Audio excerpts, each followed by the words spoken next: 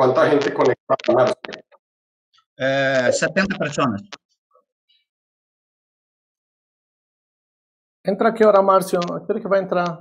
Ya, ya debería de entrar, ¿no?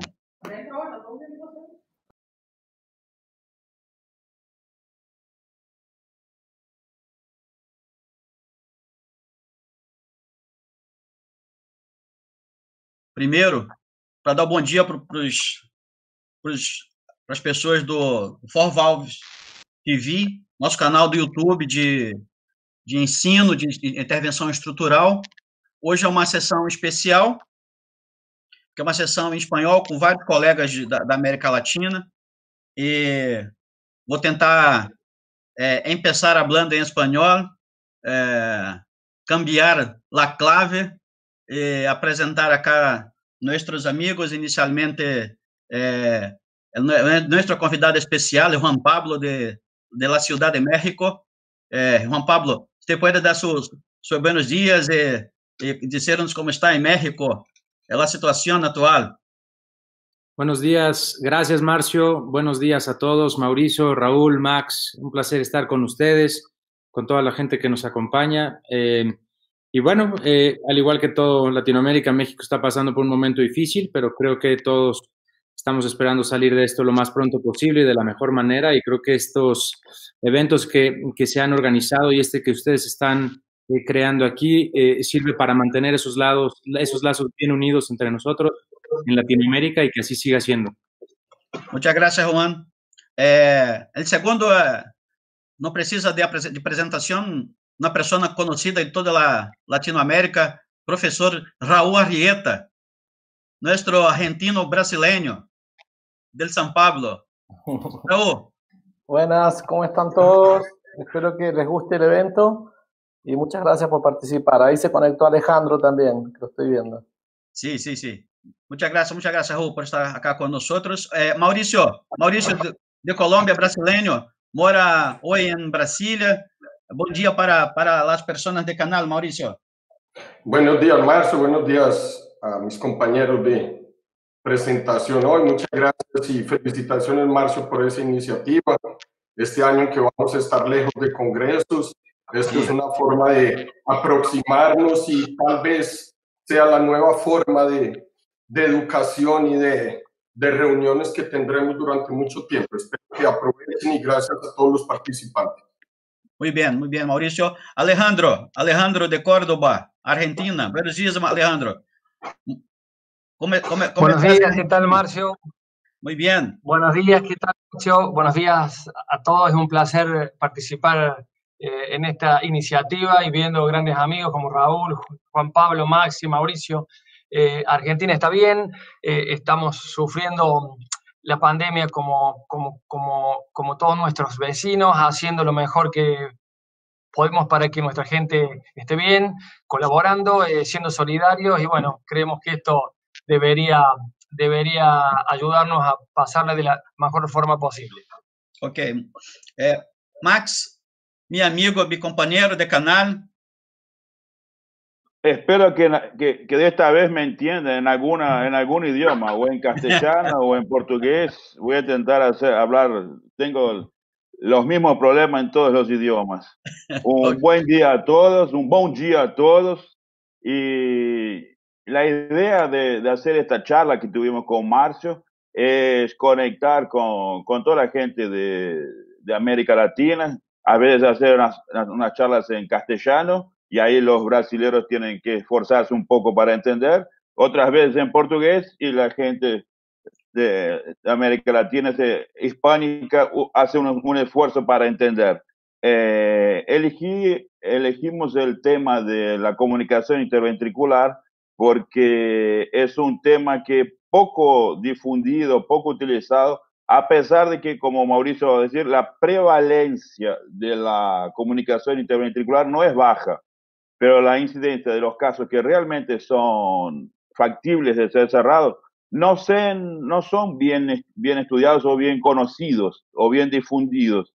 Entonces, eh, la idea es que al final de, esta charla quede la idea en, en, la cabeza de las personas que el, la corrección percutánea es posible en determinados casos, en casos muy en casos específicos, y como siempre cuando usted hace las cosas para los casos específicos, el, el suceso, el éxito es, es casi garantizado.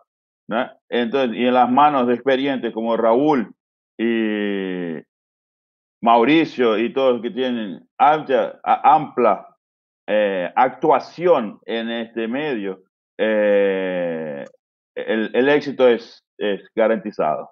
Espero que sea, que sea eh, entretenido y que, y que aprovechen. Muchas gracias, Max. Mauricio, usted puede tentar, intentar eh, compartilhar su pantalla con nosotros.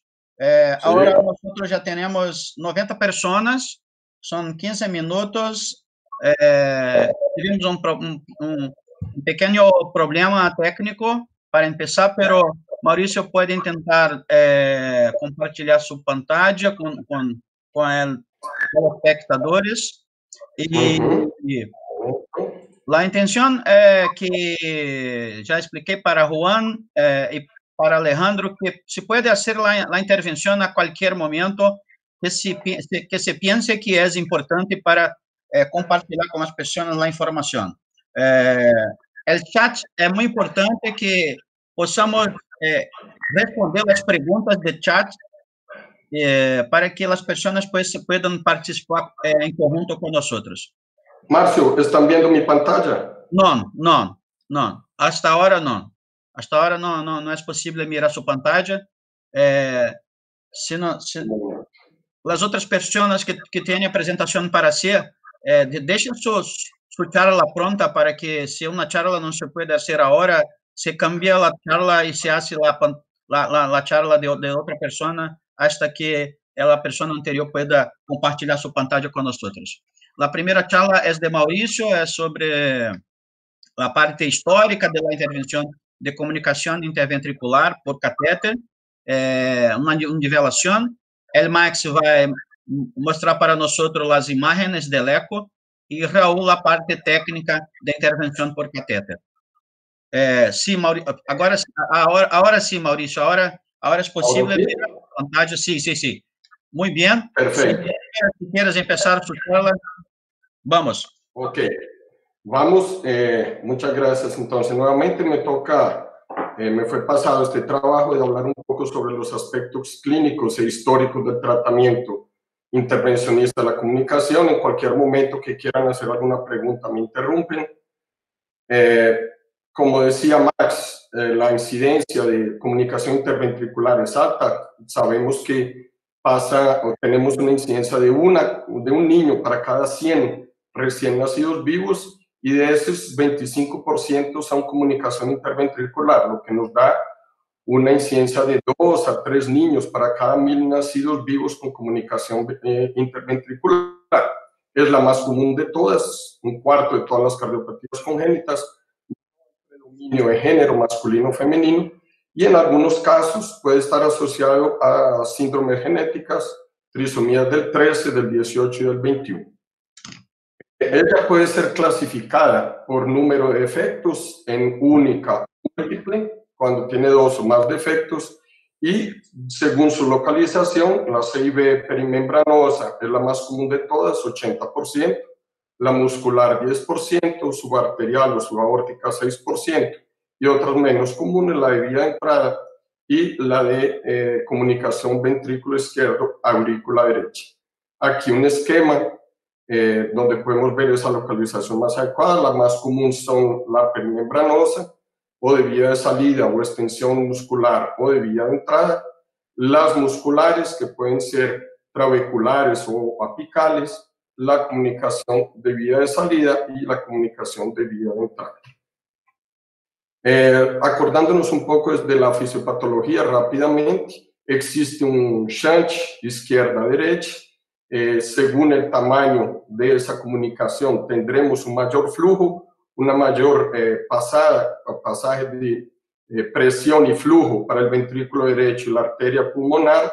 Eso nos trae un aumento del retorno venoso a las cavidades izquierdas, sobrecarga de volumen inicialmente del ventrículo izquierdo y aurícula izquierda, y si no corregido, eh, vamos a tener un aumento progresivo de la hipertensión de cámaras derechas, ecualización de presión y en algún momento una inversión del flujo, llevándonos al síndrome de Eisenmenger.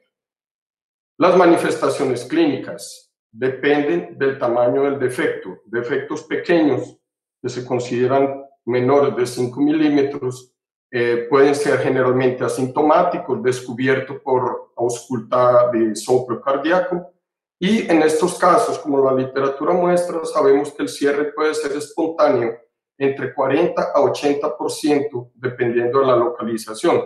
Este trabajo de 2015, que hace una revisión de literatura, eh, donde se habla de cierre espontáneo de la comunicación interventricular, nos muestra series eh, donde el cierre de CIV primembranosa puede ocurrir hasta 47% de los niños y de CIV muscular hasta en 84% de los pacientes. Entonces es algo que tenemos que tener muy claro cuando se va a indicar una orientación a una familia, esa posibilidad de ese cierre espontáneo.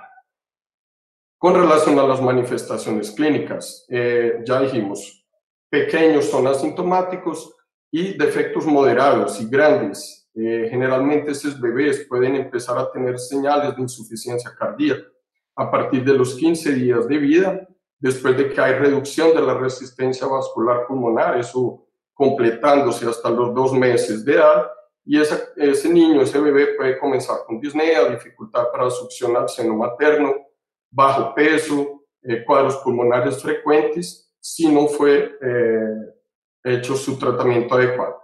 Y dependiendo también de la localización del defecto, especialmente las CIV subarteriales, subaórticas, nosotros podemos tener una evolución con hallazgo de insuficiencia aórtica.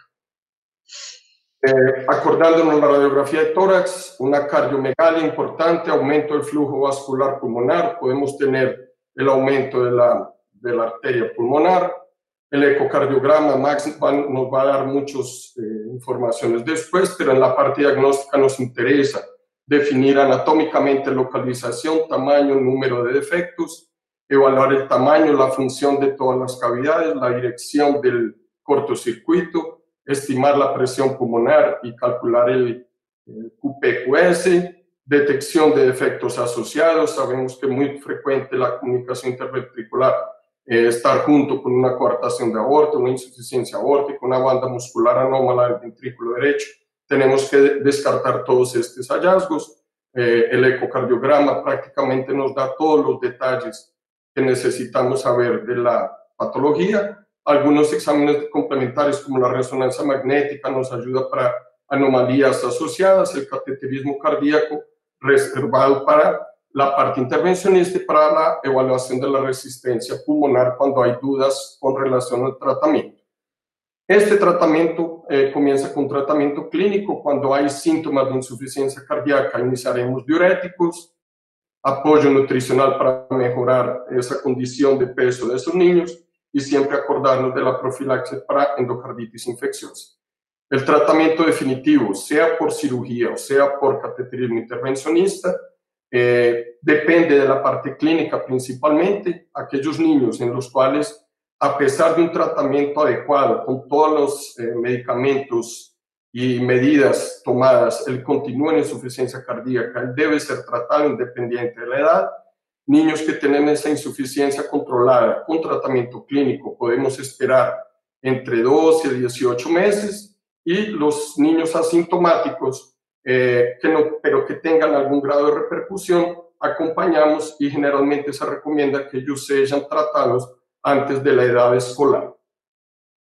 Eh, tenemos algunas recomendaciones directrices de, sociedades médicas. Aquí tenemos una del 2010 más relacionado a adultos de la Sociedad Europea de Cardiología, paciente indicación clase 1, eh, pacientes con CIV con shunt izquierda derecha, que, no tengan eh, enfermedad vascular pulmonar establecida, eh, que tengan sobrecarga de, flujo, indicaciones tipo 2, pacientes que tienen antecedentes de endocarditis infecciosas, pacientes que, ten, que tienen la CIV con prolapso de válvula aórtica y pacientes que tienen algún grado ya de hipertensión pulmonar, tienen todavía un flujo mayor que un y medio de QPQS, con presión pulmonar menor que dos tercios de los sistemas. Eh, contraindicado, como ya sabemos, en pacientes que tienen hipertensión pulmonar acentuada con inversión del flujo y eh, desaturación arterial, y también con pacientes que tengan CIVs pequeñas, que no tengan ninguna sobrecarga ni historia de endocarditis. Eh, más recientemente, la American Heart eh, publicó las directrices en 2018, más o menos siguiendo esta, estas recomendaciones, y con este flujograma entendemos mejor, es para adultos, pero podemos seguirlo tranquilamente para la dirección de, de tratamiento de los niños. Una comunicación con significancia hemodinámica, con shunt izquierda-derecha, si tenemos un aumento del flujo pulmonar mayor que 1,5 en relación con PQS, con presión pulmonar menor que 50% de la sistémica y resistencia menor que un tercio de la sistémica, indicamos cirugía o tratamiento con catéter. Si eh, no tenemos estas, estos eh, hallazgos, pero encontramos una insuficiencia aórtica progresiva, puede ser indicado también el, el cierre percutáneo o con catéter o si tiene historia de endocarditis infecciosa, también indicar su cierre. Pacientes que tienen grados de hipertensión pulmonar mayores deben ser evaluados adecuadamente por cardiólogo pediatra especialista en cardiopatías del adulto para decidir si se hace un tratamiento o no. Y pacientes que tienen hipertensión pulmonar acentuada, que se confirma su diagnóstico a través del cateterismo hemodinámico eh, y confirma que es irreversible, en eh, hacer su referencia al, médico especialista que pueda hacer su tratamiento clínico. Hablando ahora un poco de la historia del cierre percutáneo, eh, no sé si quieren hacer alguna pregunta, puedo continuar. Eh, sí, yo pienso que podríamos hacer unas preguntas sobre indicación. la, la, práctica de, de Juan, de, de Alejandro, se hace siempre en comunicación interventricular el cateterismo para, para medir la presión o no, eh, el eco es suficiente. Eh, ¿Qué piensa Alejandro? Alejandro, se está, se, se está con su micrófono cerrado, tiene que... Sí, sí mira, nosotros te, tenemos la misma, la misma política que, que, que se hace eh, generalmente. Nosotros las comunicaciones interventriculares, en realidad las, las comunicaciones interventriculares grandes eh, casi siempre tienen corrección quirúrgica durante los primeros seis eh, meses de vida o años de vida, ¿verdad? Luego quedan las comunicaciones interventriculares posibles de cierre percutáneo, que son aquellas que cumplen este, indicación, y es, es, un, es un rompecabezas. Eh, vemos la parte clínica, el paciente siempre, vemos eh, el ecocardiograma, eh, vemos, em, vemos eh, su, su, tolerancia al ejercicio, su crecimiento, el número e índice de, de, infecciones respiratorias. Creo que es todo un rompecabezas que uno este, va armando para, para poder proceder con este, el cierre percutáneo. Ahora somos mucho más, estamos mucho más inclinados a cerrar comunicaciones interventriculares. No somos taxativos con el QPQS 1, 1, 1, 5 1, pero si el niño tiene algún trastorno del este, crecimiento, si tiene infecciones respiratorias frecuentes, si el corazón está ligeramente dilatado, si el QPQS es cercano a 1.51 y si es una comunicación interventricular posible de, alta tasa de éxito de cierre percutáneo, por supuesto que procedemos al, este, cierre percutáneo. Eh, ahora, estrictamente no, no, este, eh, eh, no, no, nos, no nos manejamos con QPQS más de 1.5.1, por allí son niños más sintomáticos con 6B pequeñas, pequeñas moderadas, pero que el QPQS es 1.3 a, a, 1. Entonces, en esos niños también procedemos al este cierre. Yo creo que es multifactorial y tiene que, tiene que encajar dentro del este, rompecabezas para, para, para poder hacer la este, indicación. Por supuesto que están los casos de especiales, aquellos pacientes con ocupaciones especiales o aquellos pacientes que han tenido endocarditis previa o que la presión pulmonar está ligeramente aumentada. Estos son, son factores de riesgo conocidos, pero eh, en este general es, es así como nos manejamos. Muy bien. alguna intervención, Juan, Raúl? Juan Pablo, yo le quería preguntar a Juan Pablo, que hay una pregunta del chat aquí, de nuestro amigo que está en Colombia ahora, justo Santiago, que él pregunta si no eh, te parece que las, que las recomendaciones actuales están muy viejas, digamos así, o sea, habría que hacer una revisada. Creo que es una excelente pregunta, y tanto la que hacen Pablo Tome como la que hace Justo. Y creo que eh, a lo largo de, estos años en donde el tratamiento intervencionista se volvió una realidad eh, para poder cerrar las, las, comunicaciones interventriculares, creo que ha quedado clara su indicación para las CBs musculares. Creo que en esa no hay duda.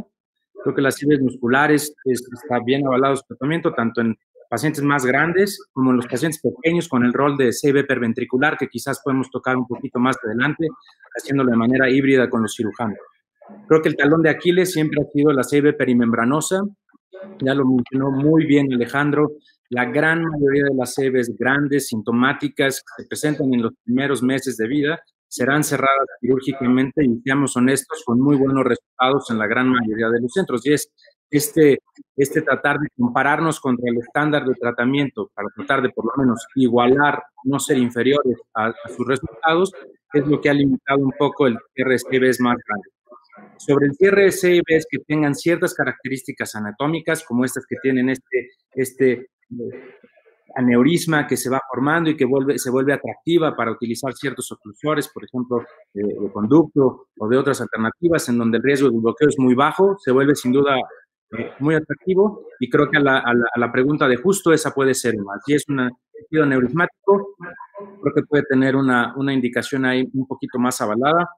Y si somos también ya un poquito más juiciosos en cómo se va repartiendo en diferentes partes del mundo y quizás eh, la gente del sureste de Asia que tiene muchísima mayor incidencia de, de esta, de esta CIB eh, de salida o infundibular, en donde Pablo preguntaba si esta, si esta intervención para, para aquellos que tienen insuficiencia aórtica puede ser una, una opción. Quizás lo puede ser, pero uno tiene que recordar que también tiene que ser muy, muy muy bien seleccionado ese paciente porque la insuficiencia también puede ser eh, mantenerse o, progresar. Entonces, eh, creo que en ese sentido tenemos que reconocer en donde sí está claramente ya eh, instituida la, terapéutica y en donde estamos empujando para mejorarlo. Y creo que ese ha sido siempre lo que hemos buscado como intervencionistas, buscar este dispositivo de tales características que se pueda ofrecer a niños pequeños con CIBs grandes. No sé qué opinen ustedes. Muy, muy bien, Juan. Mauricio, vamos adelante. Ok. Eh, antes de seguir, con, eh, estoy de acuerdo, las indicaciones ya deberían estar cada año eh, siendo reevaluadas por los nuevos dispositivos, por los nuevos trabajos que son publicados. Esto es lo que hay en la literatura y sabemos que cada vez van quedando un poco más atrás de lo que tenemos actualmente. Hablando un poco del cierre percutáneo, tenemos el primer relato, la primera publicación por el doctor James Locke en 1988, seis pacientes utilizando la umbrella de, de Raskin, la doble umbrella de Raskin. Eh, pacientes cuatro tenían eh, CIV posinfarto, una CIV congénita y otra CIV postoperatoria residual.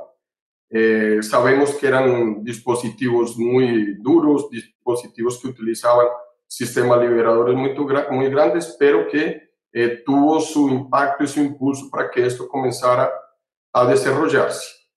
Posteriormente, en 1994, tenemos la publicación del doctor Michael Rigby y de Andrew Reddington en Inglaterra, usando también esa doble umbrella de Rashkin para CIV perimembranosa.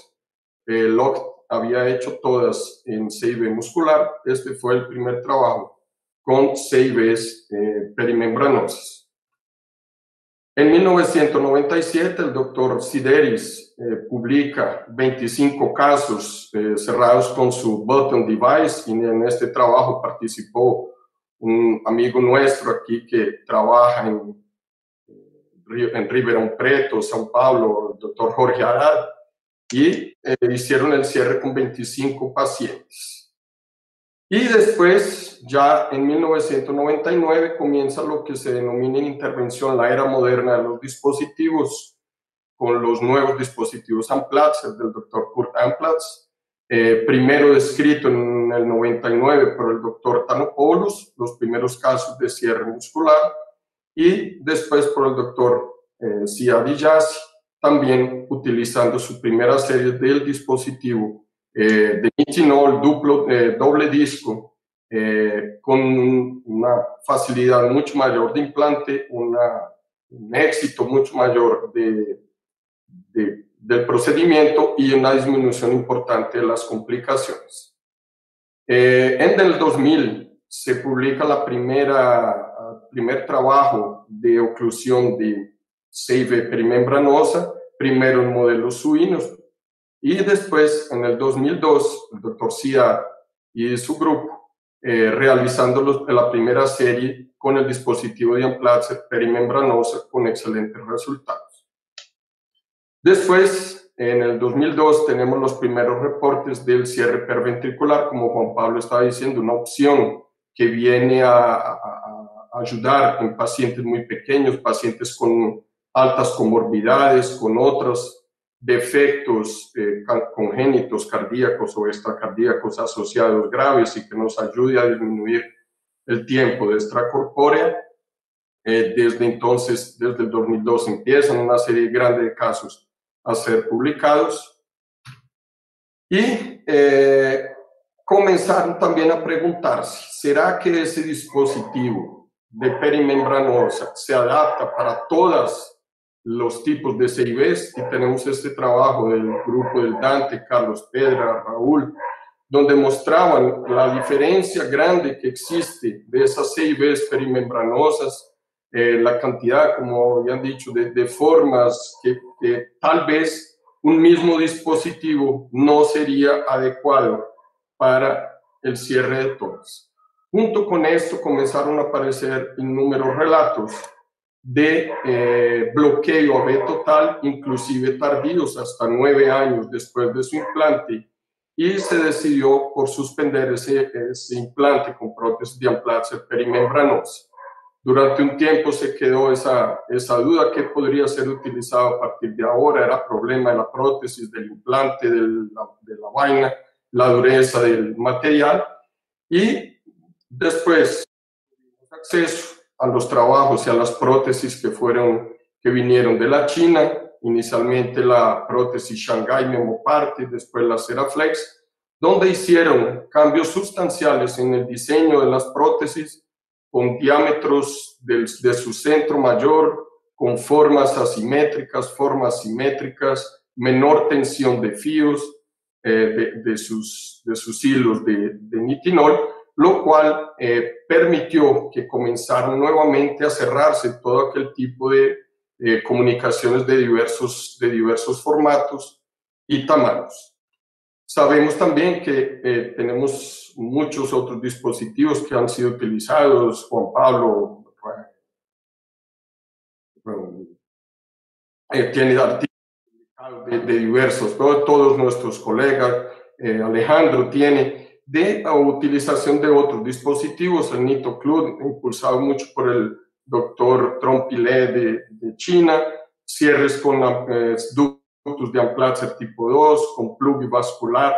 Entonces, toda esta serie de, de, nuevos dispositivos que tenemos a disposición han venido a sumar para ese arsenal grande que tiene ahora para hacer no solo las musculares, como las perimembranosas, perimembranosas que están más cerca de aorta, con aneurisma de septo interventricular, eh, con diferentes formas que nos permiten hacer ese cierre. No me extiendo más, las otras partes vienen con Raúl, la parte técnica y la parte del ecocardiograma con Max. Espero haber podido pasar un poco de lo que, eh, de la tarea que me fue eh, solicitada y seguimos aquí pendientes para hacer las discusiones de los casos. Muchas gracias, Mauricio. Congratulaciones por su charla. Eh, no podría ser diferente. Fantástica presentación, una nivelación para quem não, não hace trabalho em parte eh, de comunicações ventricular com ninhos. Max, eh, usted que a próxima apresentação, podem tentar eh, abrir sua, eh, compartilhar sua pantalla com nós para que possamos eh, tentar passar para a segunda apresentação. Eh, Raúl, usted, acompañó esta, esta parte de, de, de evolución de, de, prótesis, ¿no? realmente las prótesis están muy mejor. ¿Qué, qué, qué tiene para decir para nosotros? Eh. La presentación ahora es de Max, ¿no? La segunda presentación. Sí, soy yo. Raúl, usted tiene que tirar su presentación y, eso, Max tiene que compartir con nosotros la presentación. Sí, bueno. Sí, esta evolución de prótesis eh, ha sido bastante importante para nosotros las intervencionistas eh, que hacemos congénitas, ¿no? Y eh, me tocó vivir la segunda fase de, de los dispositivos de nitinol, que desde que empezamos en el año 2000 99-2000 hasta ahora ha ido cambiando muy bien como Mauricio lo colocó en su presentación. Y creo que eso nos ha, nos ha dado un armamento, un arsenal bastante importante de, de, dispositivos y también nos ha permitido cambiar un poco la cabeza y usar otros dispositivos eh, que son específicos y otros no específicos. ¿no?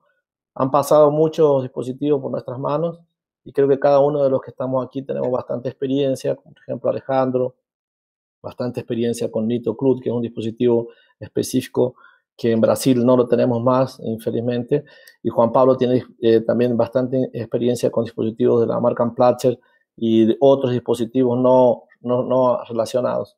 Sé que la verdad ha cambiado mucho la filosofía del intervencionista encarar este desafío, ¿no? Max, su pantalla. ¿Puede compartir su pantalla? Por favor. No, no, no. Sí, Alejandro, puede hacer su comentario, Alejandro. Bárbaro. Sí, yo coincido con Raúl que creo que esto fue todo un aprendizaje y nosotros fuimos partícipes de, ese, de esa evolución.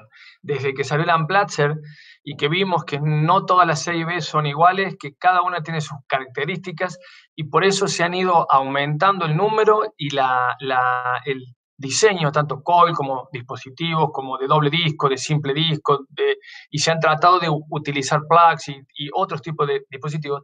Esto, esto nos, nos muestra que la realidad es que la CB es, tiene un gran espectro, es de gran variabilidad y por eso nos hacen falta tantas, tantos dispositivos y tantas técnicas distintas, de las cuales Raúl es pionero en muchos de ellos, para, para, Creo que hemos sido afortunados de ser, de ser testigos de toda esta, esta evolución. Muchas gracias. Max, ¿tiene problema con su, con su compartilamiento con, de su pantalla?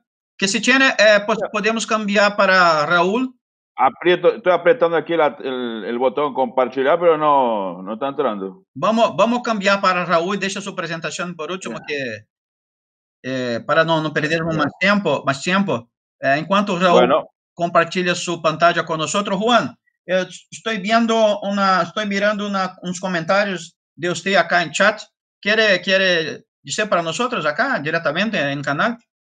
Bueno, eh, yo, yo, me imagino que Raúl tocará estos puntos, pero como dice Alejandro, también ha habido mucho avance en, en no solo los dispositivos, sino también en las técnicas para, para poder abordar las CBS. Estoy seguro que, que Raúl tocará un poco sobre el abordaje retrógrado, que es bastante atractivo en aquellas CBs que sean factibles para hacerlo de esta manera, que, facilitan y simplifican en, definitiva el procedimiento y quizás algo también en, relación al, a la CB perventricular, eh, que, sin duda yo creo que también es una opción atractiva para muchos operadores.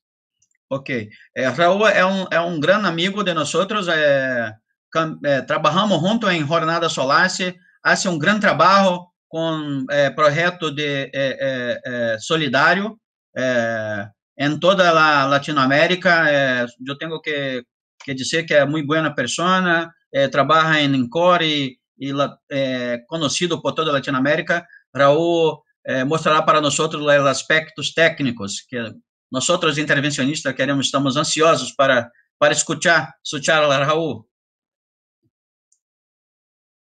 Tiene que abrir su micrófono.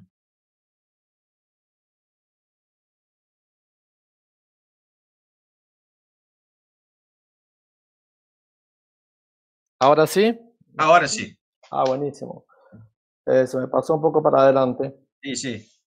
Bueno, empiezo aquí. Muchas gracias por las palabras, Marcio, y un placer estar con todos ustedes aquí compartiendo esta mañana de sábado en plena pandemia.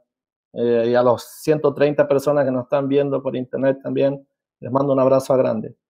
Me tocó un poquito hablar de los aspectos técnicos del cierre por cateterismo, y yo lo que quería eh, mostrar a ustedes es que, eh, como ya habíamos llamado la atención en esa época, que las, nosotros pensábamos que la CIB era un agujero y cuando uno lo va viendo de diferentes eh, aspectos, de diferentes lugares, uno puede ver que la comunicación interventricular puede representar realmente un espacio tridimensional. En ese espacio tridimensional nosotros tenemos que poner un dispositivo. Entonces no sería una cuestión de tapar un agujero y sí tal vez de llenar un espacio que es bastante complejo. Este espacio está formado por por varias estructuras que nosotros los intervencionistas tenemos que conocer y tenemos que estar muy familiarizados con, eh, por ejemplo, el lado derecho, la válvula tricúspide. Vean que la válvula tricúspide está muy relacionada con el septo membranoso y es una válvula bien fina que da muchas cuerdas y puede en algunos casos ser un mecanismo de oclusión del defecto y eso puede, eh, de cierta forma, algunas veces eh, ser eh, como un factor de, de, complicación en la hora del cierre eh, o a la hora de pasar los catéteres. Por otro lado, en el lado izquierdo tenemos una estructura bastante conocida por nosotros y bastante temida, que es la válvula aórtica, que está en una íntima relación con la, la, región perimembranosa del tabique y con, obviamente con estas comunicaciones interventriculares perimembranosas, que va a ser el foco de mi presentación, ya que es el principal desafío que nos enfrentamos eh, hoy.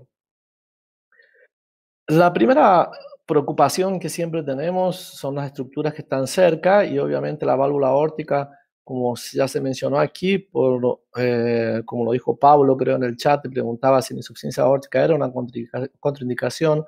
Vean ustedes aquí en la imagen del eco, donde uno puede ver con si presta mucha atención, esa cúspide de la válvula aórtica está totalmente prolapsada y pegada hacia eh, la comunicación interventricular con una insuficiencia, provocando una insuficiencia valvar. Cuando esto pasa, cuando existe este prolapso fijo, es muy difícil que nosotros eh, podamos impedir la evolución de esa, de esa insuficiencia aórtica. Entonces, en estos casos realmente tenemos que cuestionar si podríamos poner o no un dispositivo, en este caso en que la cúspide está totalmente ya pegada. Otro problema en que nosotros nos tenemos que prestar muchísima atención, que no se ve como uno puede ver la válvula tricúspide, como uno puede ver la válvula aórtica, es el sistema de conducción. Y como ya Mauricio colocó anteriormente, a pesar de que al principio nosotros nos preocupábamos por la válvula aórtica, el tiro no salió por la culata y tuvimos muchísimos bloqueos AB, inclusive con algunos eventos serios en nuestra primera experiencia en el año 2000. Entonces, como no veíamos el, sistema de conducción, la fábrica y todo el mundo no pensó en esto y nos dio bastante dolor de cabeza. ¿Y por qué eh, pasó esto? Eh, el sistema de conducción, como ustedes pueden ver en este dibujo, ella va bordeando prácticamente una íntima relación con el septo perimembranoso y cuando nosotros teníamos un dispositivo que era disponible en aquella época, que era el Amplatzer de dos discos con excéntrico o eh, con el disco eh, izquierdo más hacia abajo, la, nuestra idea era cabalgarlo en el tabique interventricular y ese, ese, ese, esa fuerza que tenía, esa fuerza radial que tenía el dispositivo, hacía... Eh, Raúl, solo un momento, está apareciendo una, una, una, una mensaje. se puede clicar en ocultar Sí. Ah, buenísimo. Ah, porque está, para, ah, está ah, ok, gracias, ah, gracias, gracias, Marcio. Mejor. Entonces aquí vean que eh, la fuerza radial del dispositivo rosa en el tabique membranoso y produce el bloqueo. Esto también se ha visto mucho con las TABI y, y la, el principal problema de TABI es que invadir el asiento membranoso y la propia fuerza radial ejercida por las prótesis eh, de TAVI hace que la frecuencia de bloqueo sea bastante grande. Y ese es el mismo problema que enfrentó la TAVI más adelante, lo veníamos enfrentando nosotros y fue motivo de que se parase de hacer, eh, como Mauricio lo colocó, y aquí es el paper más emblemático tal vez del grupo de Italia, donde tuvieron un bloqueo de 5.7% precoz y tardío, lo que más preocupaba en esa época era el precoz y tardío, y ellos mostraron como dos factores eh, de predisponentes o de riesgo a la edad, eh, edad, la edad precoz como un factor predisponente y también el bajo peso. Vean que en esa, en esa época los eh, tamaño de los orificios era un tamaño relativamente parecido con el que nosotros tenemos, 7,2, y el uso del device no una superdimensión. Entonces no se trataba de que los pacientes eran diferentes o que el device era diferente. Ellos usaron 84%, 84 pacientes el device el dispositivo de Amplatzer que era específico para perimembranosa. Entonces ahí parábamos de hacer, inclusive aquí en Brasil, pero este, como siempre hay gente que piensa mucho más que nosotros, gracias a Dios, como siempre se dice, no hay que saber todo, hay que conocer las personas que saben. Y se crearon nuevos dispositivos eh, que venían desde Asia. Yo digo Asia porque hay dispositivos también que fueron inventados en otros países que no sea la China. Y como ya Mauricio comentó, ¿cuál era la gran ventaja de estos dispositivos? Que eran de diferentes formas, con una mayor distancia entre los dos discos, ¿no? Y que permitía eso, que no exista una fuerza radial y que apriete el, tejido de conducción a nivel del, del tabique perimembranoso. Eh, existen hoy eh, varios dispositivos de, de, esas, de, esas diferentes, de diferentes fábricas, pero básicamente vean cómo eh, el, el, nivel de, de, incidencia de bloqueos post-intervención, y estos son ya comunicaciones, son comunicaciones ya más viejas del 2012, mostrando que la incidencia de bloqueo bajó abruptamente. A partir de esa época nosotros comenzamos una experiencia en el año 2000, vamos a decir la segunda ola de cierres, eh, baseados en toda esta información que nos llegaba de la China con prácticamente nada de bloqueo. Los dispositivos que tenemos disponibles hoy en Brasil, eh, específicamente hechos para la serie perimembranosa siempre, son estas tres marcas, que una es la cera, cera hecha por LifeTech, la Memopar, que es hecha por Lepu, estas dos son chinas, y eh, la otra Cocoon, que es la Vascular Innovation, eh, que es una prótesis asiática. ¿no? Eh, tanto la, la Cocoon, perdón, la Cocoon como la cera tienen un revestimiento que una hecho con una cerámica, con una tipo crema cerámica y este otro con revestimiento de, de metal que dicen que sería un factor eh, para mejorar la, la inflamación que, pasa durante el, cierre. Eh, de estos dispositivos, eh, una, característica que llama la atención de, uno de estos dispositivos que me parece bastante interesante es que en este dispositivo Memopar, conocido por nosotros como LEPU, que es la fábrica, que la cintura va creciendo a medida que el número de dispositivo crece. Entonces, un dispositivo tiene una cintura de 4 tiene una distancia entre, las, entre los dos discos de 4 y a medida que va creciendo hasta 12, 14 va a ir a 5, a 6,5 y eso es muy importante, sobre todo en los casos como el que está aquí, donde la comunicación interventricular es bien peri, subaórtica, perdón, entonces el dispositivo tiene que quedar bastante separado y ese, en ese caso siempre cabalga el tabique, no hay forma de ponerlo sin cabalgar, entonces una distancia más larga eh, entre los dos discos es fundamental y eh, este dispositivo yo creería que tiene esa, esa ventaja eh, adicional en relación al, al resto de la familia. Entonces, evita esa fuerza eh, hacia el tabique y con lo que disminuye el riesgo de bloqueo. Aquí unos dibujos míos, perdón, eh, para mostrar más o menos cuál es la técnica. Existen varias técnicas, como ya lo dijo Juan Pablo. Yo voy a hablar apenas la técnica clásica y vamos a dejar para discutir las otras técnicas.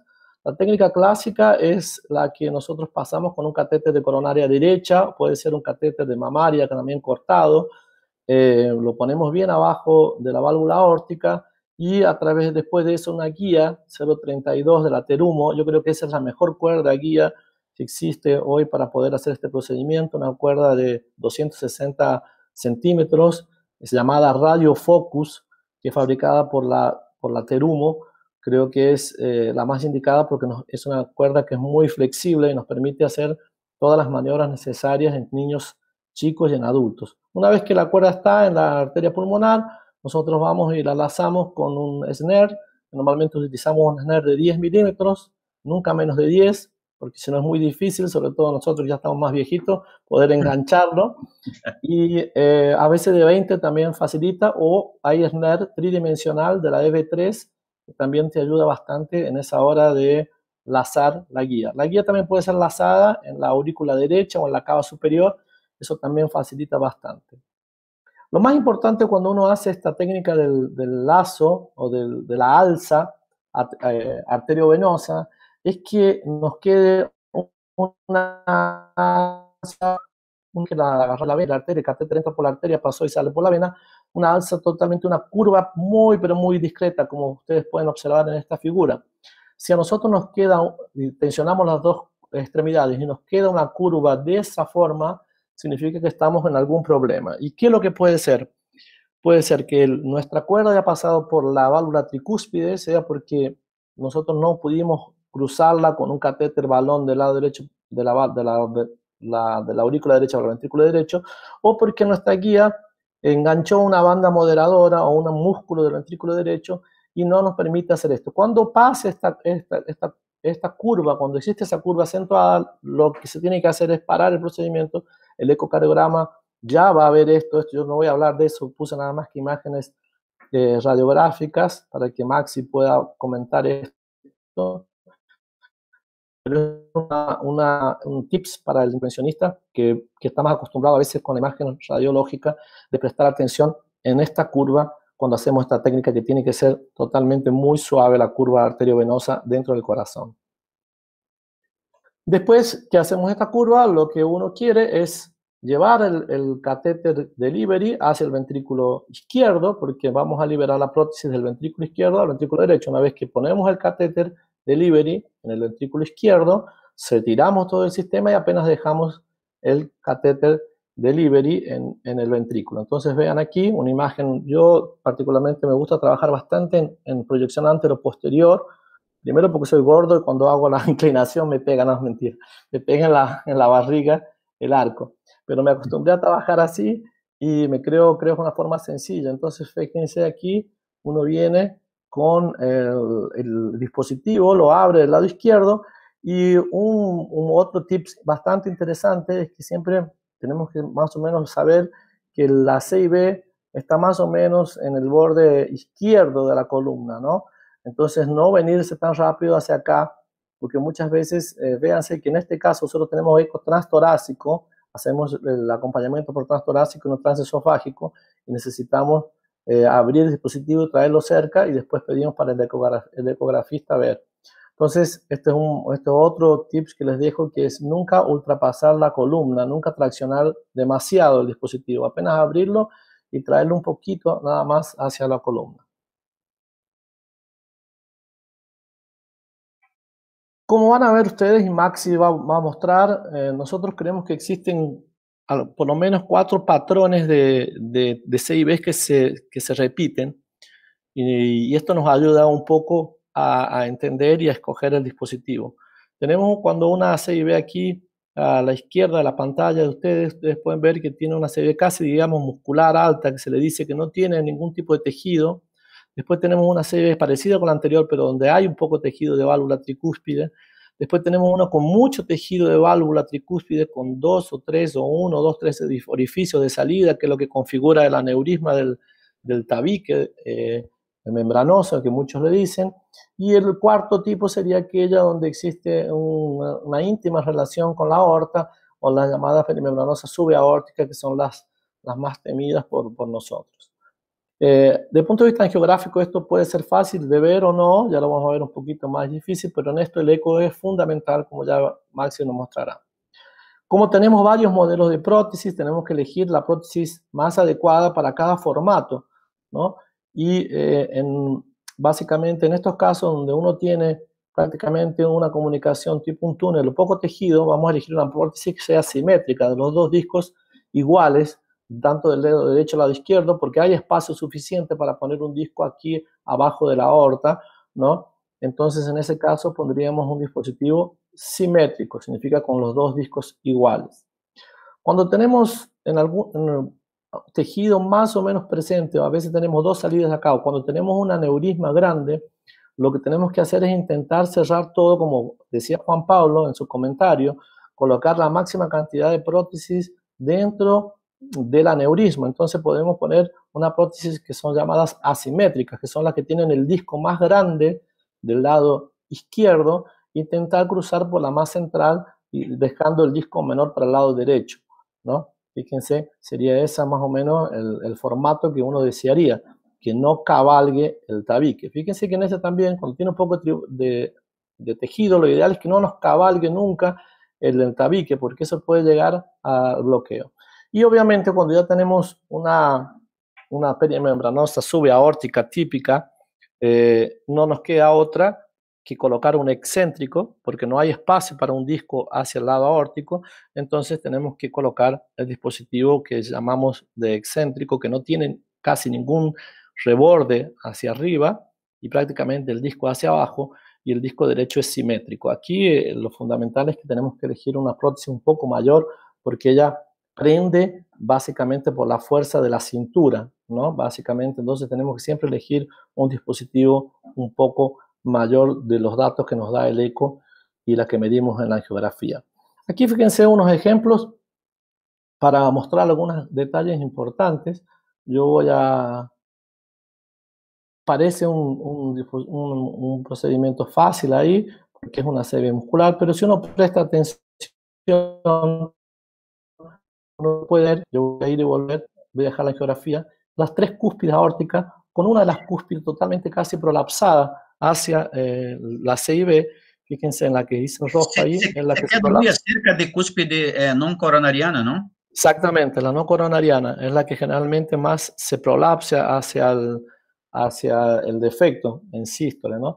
Entonces, eso puede ser un problema. Cuando esto pasa, obviamente tenemos que poner el dispositivo excéntrico, ¿no? Ustedes pueden ver en ese, aquí ya con el dispositivo implantado, ya con el, el, dispositivo reposando sobre la cúspide.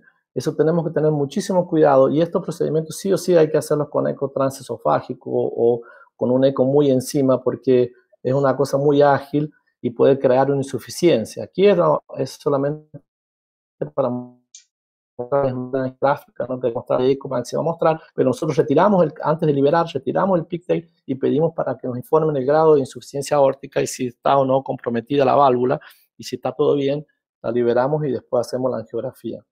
Ok. Eh, otro otro eh, interesante es aprender a ver bien desde el punto de vista angiográfico, que es una cosa que hemos a veces abandonado. Y fíjense, aquí en este caso, si uno ¿Y cuál, eh, cuál, es, la mejor proyección, proyección, Raúl? La mejor proyección que uno tiene es, eh, a mí me gusta mucho una axial alongada, es decir, una, unos más o menos 20, 30 grados de, de oblicuo izquierda. Izquierda craneal. Eh, izquierda, izquierda. Sí, unos 20, 30 de craneal, perdón, con bastante izquierda, con 40, 60 de izquierda. Entonces, 40 más izquierda que craneal, pero siempre, como se dice, con la punta del pigtail que apunte hacia los pies del operador. ¿No? Ah, ahí uno tiene la certeza que está cortando el septo bien a nivel perimembranoso.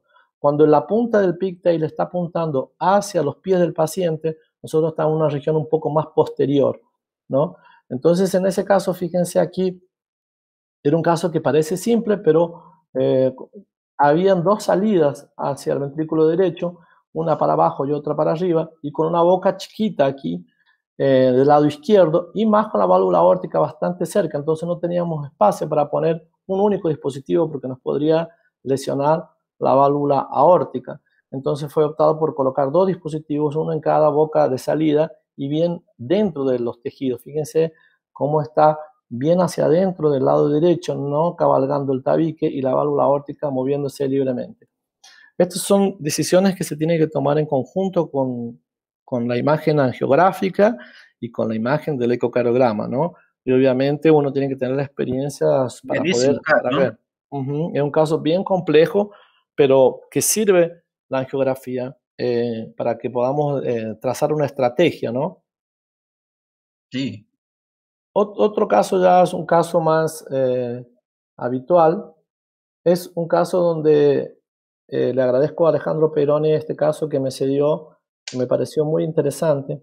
que era un caso eh, que forma parte de un, de un, registro que estamos haciendo eh, en Argentina y Alejandro ya tiene más de 30 casos aportados al registro, entonces con una experiencia gigante. Y fíjense en este caso, lo, lo que llama la atención es la gran cantidad de, de, tejido tricúspido, ¿no? Parece un coliflor, ¿no? Eh, bien, bien interesante donde uno tiene que realmente saber cuál es el, diámetro más importante, que sería en el medio, la salida más importante, otra salida aquí abajo. Con un poco también de válvula aórtica, aquí, no sé si ustedes pueden ver esto, como, es más difícil de verlo por, por, internet, ¿no? Pero tiene un poco de tejido. Entonces, es ese caso, perdón. En, este, en este caso, eh, hace la, la la planteamiento la, la eh, eh, pre solo con eco o se piensa en hacer con eh, angiotaque? Ajá. Alejandro, si quiere hacer alguna intervención ahora que, acerca de su casos. Puede ser, perfecto. Sí, perfecto. Em, sí, eh, estos casos que son de, de, protocolo y que son de todo este, de este registro que estamos haciendo con Raúl, tienen un, un selecto un detallado sistema de, reclutamiento de estos pacientes. Los seleccionamos, eh, como, lo, como lo dije inicialmente, clínica, eh, estudios complementarios, eco, y luego de esto le hacemos una angiografía previa al paciente para certificar que la CIB sea única, que tenga estas características, que tenga buenas presiones pulmonares, y luego de eso lo, lo colocamos en un seguimiento dentro del, este, protocolo y eh, procedemos al cierre percutáneo. En estos casos particulares le estamos haciendo angiografía previa para certificar que tiene criterio de inclusión en el eh, protocolo. En los casos que no son de registro, eh, los seleccionamos con ecocardiografía y luego ya procedemos al cierre percutáneo en la sala de hemodinamia. Muy bien. Excelente. Dale, dale, Raúl. Y aquí ya con una prótesis eh, asimétrica, con el disco izquierdo más grande que el derecho, con todo el disco introducido en el tejido neurismático. Y fíjense qué lindo que le quedó el caso a Alejandro, eh, con prácticamente sin ningún shunt residual y con el uso de una, una única prótesis. Este, que muy bien porque a lo mejor podría haber sido dos, dos prótesis chicas, pero yo creo que como él vio que los ángulos de la salida eran más o menos en el mismo plano, eligió esa prótesis y quedó realmente muy, pero muy bonito. Un caso extremadamente desafiante para nosotros los intervencionistas. Eh, él tiene un ecocardiograma también bastante interesante, eh, que tiene bastante experiencia, trabajan juntos hace muchos años y tiene una comunicación excelente. Muy bien. Eh, aquí nosotros yo le voy a mostrar ahora, cuando empezamos a, con este tipo de dispositivos hace un tiempo, en 2010 ya empezamos a hacer esto, o sea, hace 10 años, y fíjense, era un caso nos tocó de sitios inversos, totalmente al contrario, todo el corazón. Y solamente era para mostrar que em, nos animamos a empezar a hacer con estos dispositivos, eh, de sea de la cera, Life, de LifeTech o de Memopar Lepu, eh, eh, nuestros resultados eran bastante, bastante interesantes. Y también lo que les puedo decir que eh, los resultados a nivel mundial, cuando comparado con las cirugías, son muy interesantes en términos de complicaciones, como pueden ver en esta diapositiva, donde son prácticamente las mismas, índice de complicación percutáneo versus quirúrgico, el nivel del zoom residual también, y a nivel de bloqueo AB completo también eh, no hay mucha diferencia en este, en este metaanálisis comparado la cirugía con el cateterismo, con el cierre por catéteres, desde que los, pacientes sean bien seleccionados, como dijo Alejandro. Rápidamente la experiencia nuestra, desde hace unos años ya trabajando en esto, con diferentes tipos de device, aquí, Memopar, Cera también tenemos bastante, Amplatzer, NIT, y complicaciones, como ustedes saben, todo el mundo tiene, ¿no? Eh, bloqueos, hemos tenido dos pacientes con ritmo de, de la unión y un paciente que también necesitó un marcapaso, ¿no? Eh, y el paciente con insuficiencia tricúspide moderada en un paciente que está en, en, proceso del follow-up. Entonces, era más o menos esto, era una especie de introducción eh, excelente, a, la técnica. Eh, me enfoqué un poquito más en aspectos técnicos, así que me disculpen, pero creo que... Fantástica charla. Yo quería pedir, ahora nosotros tenemos 140 personas mirando el canal. Fantástica charla de Raúl. Eh, pedir a los, los, los eh, telespectadores, los participantes que, que pongan el like en el canal, porque esto nos, nos ayuda junto a la comunidad de YouTube. Eh. Tiene una, una, una, pregunta en el chat que yo quería de oír de Juan, de, de Alejandro o Raúl, que elas, o Maurício, el abordaje retrógrada eh, de, de, de, de comunicação interventricular é, é possível. Eu tenho escutado algumas pessoas é, fazendo a abordagem de implante de dispositivo de device por é, retrógrada, vindo de aorta, não de, de parte venosa de, de paciente. Sí, um, el abordaje retrógrado, Marcio, es algo que... que... Juan, Max, tente, comece a intentar a compartilhar sua pantalla, por favor, enquanto Juan eh, comienza a hablar. Sí, eh, te decía, Marcio, eh, creo que el abordaje retrógrado y quizás puedan complementar Alejandro, Ma Mauricio y Raúl, pero es atractivo en, en, en, definitiva en aquellas que tienen una extensión trabecular, ¿no? Por donde puedes cruzar eh, vía arterial y uno nada más canula la, la, la, la C y B y utiliza eh, camisas más delgadas, no necesita uno utilizar eh, eh, vainas muy, muy gruesas porque uno puede desplegar ciertos eh, dispositivos que son atractivos para este tipo de, comunicaciones como el lado 2 eh, de, de Amplatzer o, o, quizás este nuevo dispositivo muy versátil que es el, que es el CONAR de LifeTech también. Entonces creo que eh, la ventaja atractiva es la, la, facilidad del procedimiento para aquellas que son anatómicamente susceptibles y lo otro es para aquellos pacientes que son más pequeños, ¿no? Entonces creo que es hacia donde se va empujando la tecnología, donde tú quieres ofrecer este tipo de terapéutica a los niños menores de un año y si utilizas vainas de cuatro o cinco French, entonces es bastante atractivo hacerlo de esta manera. Entonces es algo de, de, de lo que se ha, se ha, venido haciendo ya en los últimos años. Ok. Alejandro. Su, su, micrófono está cerrado, Alejandro. Concuerdo con, con Juan Pablo. Eh, con respecto a, a esta, la, la, la, la técnica si, simplificada. A mí realmente, yo, yo eh, por, la, por el background formativo que tengo y estas cosas, eh, me cuesta un poco eh, enfrentar las comunicaciones interventriculares solamente por vía retrógrada. Yo creo que el ASA arteriovenosa y la, el, el, entendimiento eh, de, la, de la comunicación interventricular es fundamental para llevar el cierre. Yo creo que las que se abordan por vía retrógrada son aquellas que no son demasiado grandes, que no, que no plantean mucha dificultad. En general son pequeñas, localizadas, únicas y que uno puede poner un este, dispositivo por vainas de bajo perfil, pero también son dispositivos eh, pequeños. Yo creo que eso sí, eh, eh, en eso sí concuerdo que puede ser una técnica atractiva, pero eh, este tipo de CIB que estuvo presentando Raúl con su excelente charla, la verdad que aprendí mucho, eh, es em, creo que la, eh, el ASA, arteriovenosa y el abordaje enterado, yo creo que es lo, lo, lo este, indicado. O que eu achei incrível foram os desenhos de Raúl, mano. Muy, muy bueno. ¿eh? Esos dibujos de Raúl seguro son comprados, Marcio. no he visto dibujar a Raúl y no dibuja así. No es posible. Estuve una semana sin tomar vino para poder dibujar.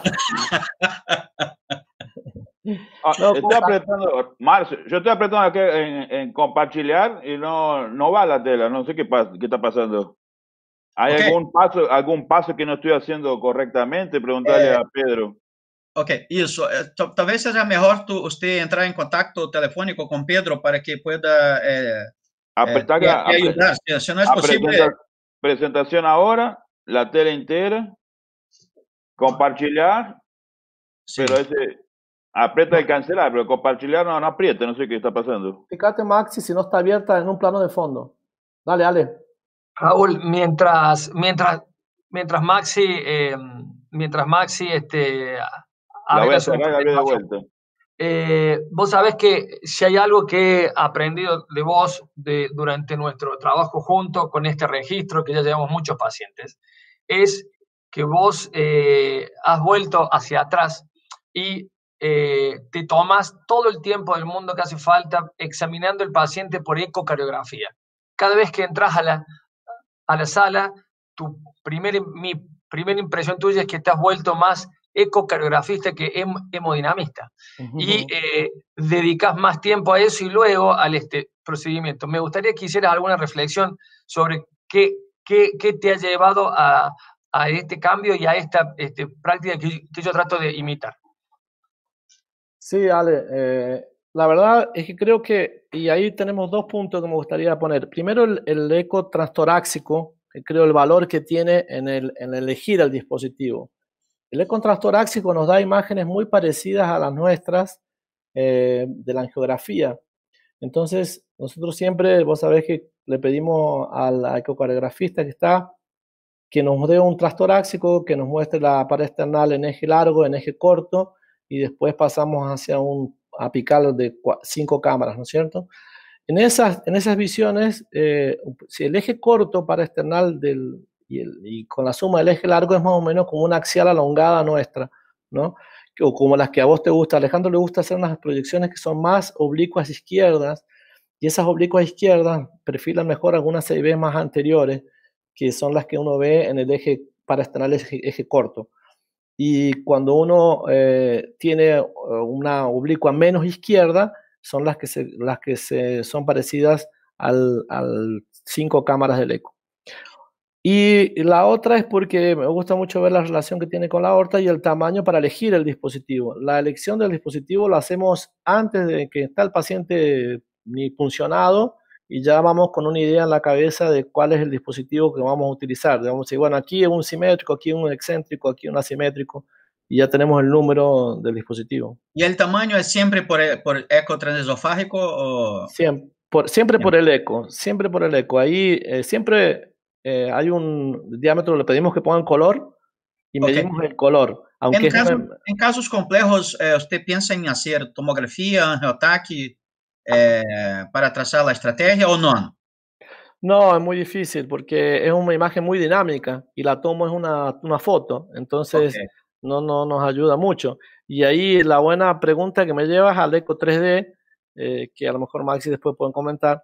Y quería preguntarle a Juan Pablo también, eh, aprovechando, si ustedes ya han hecho con eco intracardíaco, porque Juan, en México se utiliza muchísimo el eco intracardíaco para los defectos septales auriculares y, algunos han, han, abogado el uso de, del cardíaco y por ahí él tiene una experiencia interesante con eso.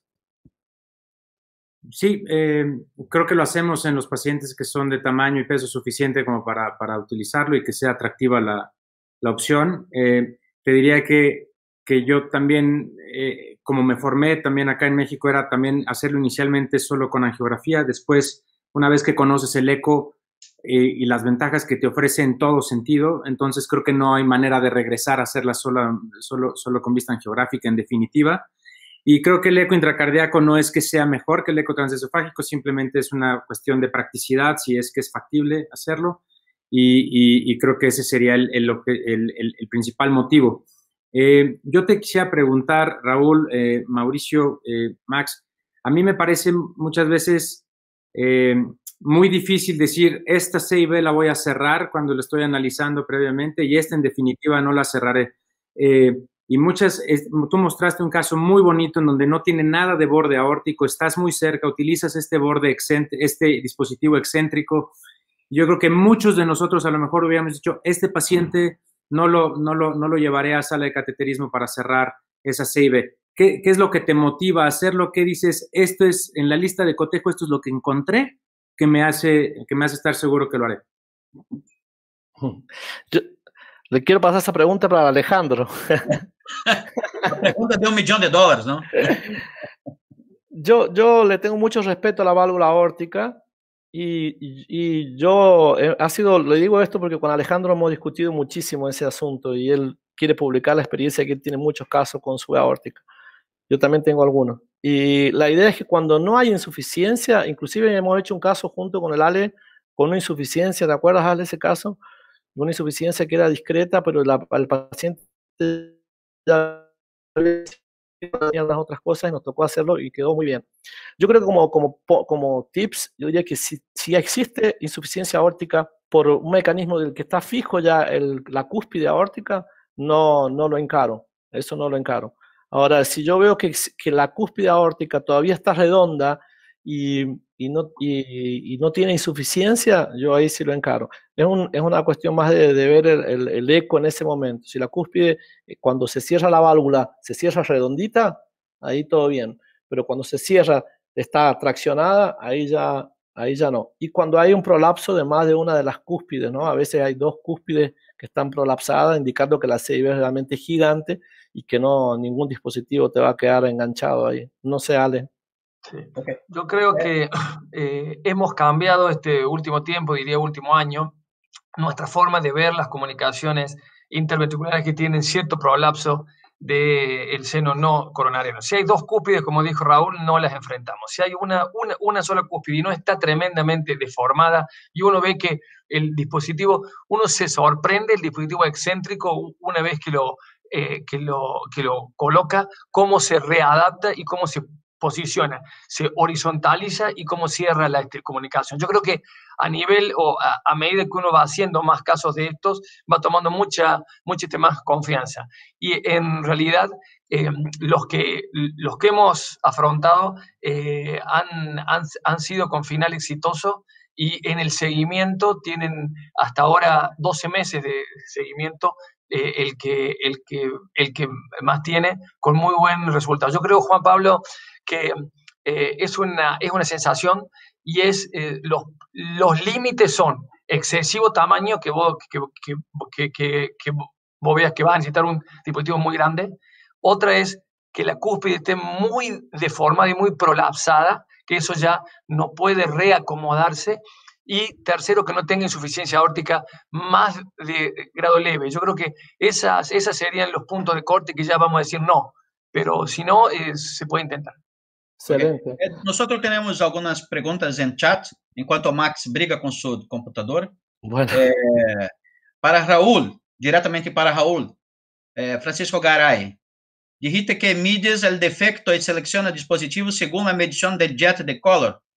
Eh, outra pergunta para Raul. Eh, não estás utilizando mais eh, transtorácico para o cierre? Então, a primeira pergunta é como sí. la medición y segundo sobre eco transtorácico. Bueno, gracias Pancho por la pregunta. Eh, otro intervencionista de primerísima línea que tenemos en América Latina, ¿no?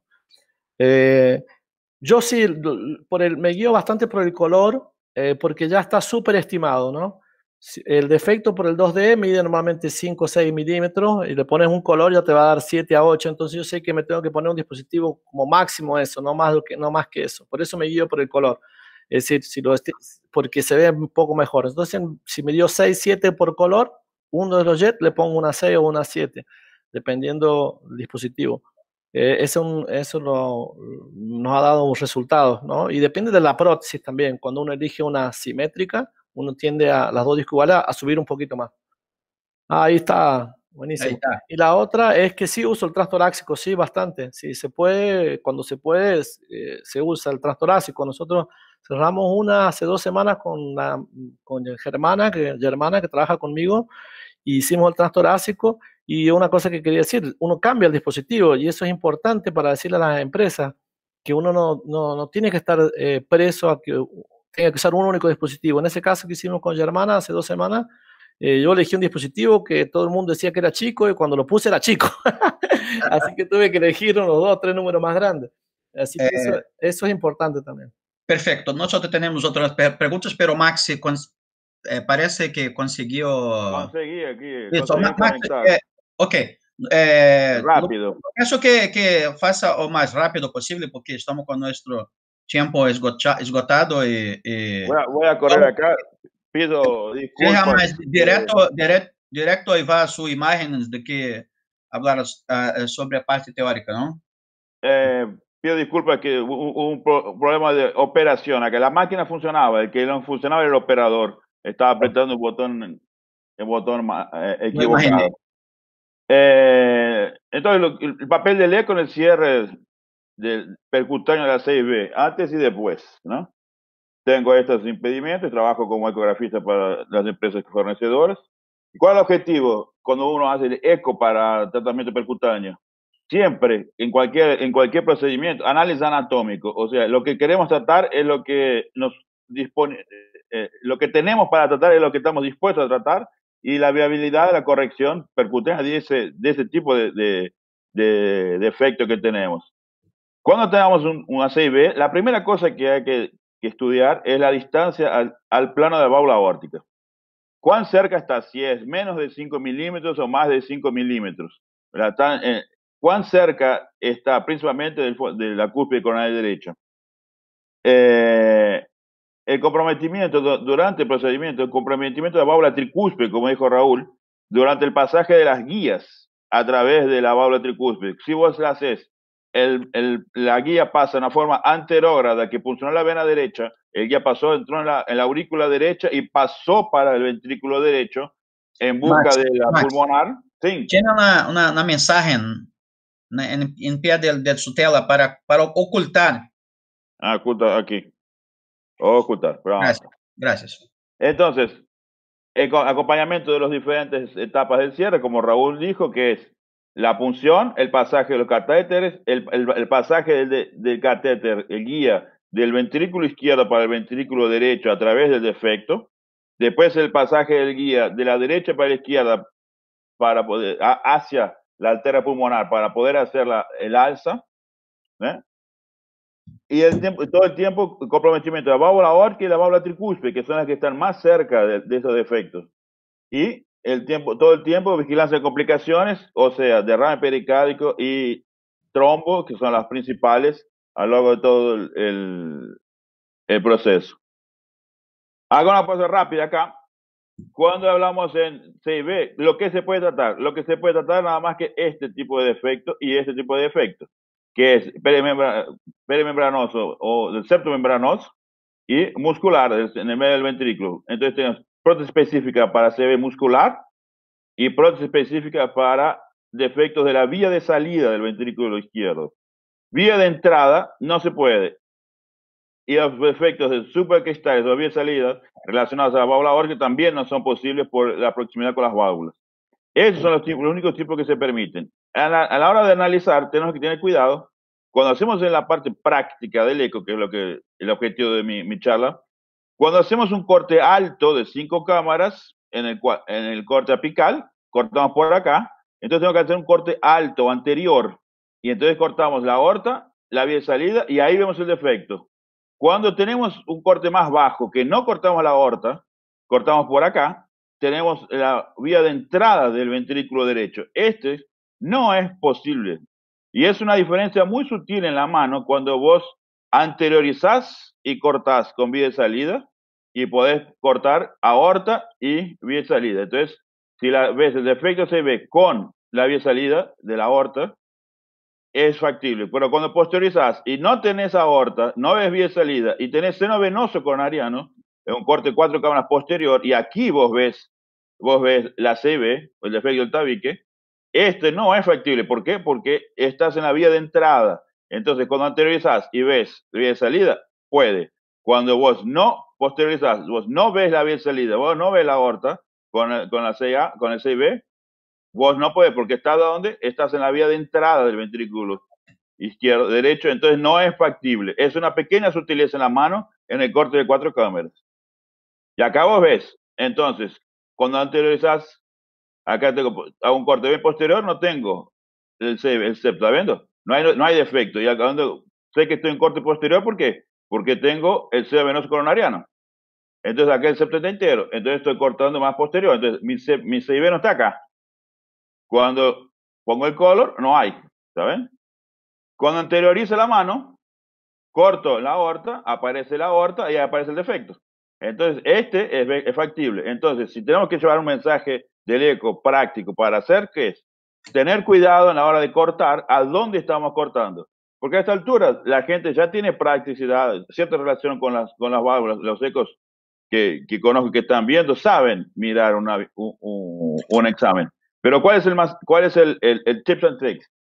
La hora que está cortando, cuatro cámaras, tengo aorta y vengo y veo CB, entonces estoy cortando acá. Sirve no tengo, no tengo, veo CB y no veo aorta, no veo bien salida, entonces estoy cortando en la vía de entrada, no sirve. Y acá tengo una, un corte rápido, en donde tengo esas tres diferentes zonas, zona 1, zona 2, zona 3 y 4. Las únicas que puedo tratar de una forma percutánea es esta zona de acá. La zona 2, 3 y 4 aquí En la zona 2, que es el defecto membranoso y muscular, y un poco más apical. Las otras zonas no puedo hacer. La zona 2 es la única que puedo tratar en forma percutánea, relacionada a vía de salida de porción premembranosa, de salida pulmonar y vía de entrada ventrículo derecho. No son factibles porque no tengo anatomía, no tengo cómo ancorar una prótesis. Y como he dicho antes, la relación con el sistema de conducción, el, el que pasa por abajo de la porción membranosa. Entonces, como dijo Raúl, cuando usaban prótesis que tiene fuerza radial, ¿qué pasaba? Apretaba acá el FGIS, el AGX que pasa por abajo del, de la porción membranosa y entonces producía bloqueo AB. Entonces quisieron, desenvolvieron, las prótesis que tenían nada más que la, fuerza, la fuerza de los discos y no la fuerza radial del disco central. Acá un corte rápido, la, la vía de entrada vía de salida del ventrículo derecho y las formas de supracristal, membranosa de los eh, supracristal y infracristal de vía de salida que no permiten nada más que la perimembranosa que permite y cuando vamos a hacer el clásico corte de 10, mediodía y 12 y 2 horas, ¿no? El único que permite es cuando tengo el, el, el chat eh, está en, a las 10 de la mañana, acá. Ese chat que permite que es la vía de salida, no relacionado con la vía de salida del ventrículo derecho. Estos doblemente relacionados subaórticos no son factibles. Entonces, Acá tengo el corte esquemático y aquí vía salida, ahorita cortado transversal y un, un, eco de la, realidad relacionado en 10 a las 10 de la mañana. Acá un corte esquemático perimbranoso, la posición en el corte longitudinal. Y acá lo mismo, cuando hablamos en el corte en aplicar cuatro cámaras. Si acá en vez de hacer un anterior y posteriorizar, anteriorizar, acá lateralizar, o sea, procuras más la, el orientar en el transtorácico la, el eco orientado para el hombro izquierdo. Y vos moves en relación al hombro izquierdo, estás lateralizando. Entonces ahí no vas a tener la, el, la, el. Lo vas a encontrar cuando, cuando vas medial, o sea, más procurando el hombro derecho, y ahí va a aparecer el jet, entonces está apropiado para el cierre, que está en la premembranoso en la porción premembranosa del septo. Acá, en este corte,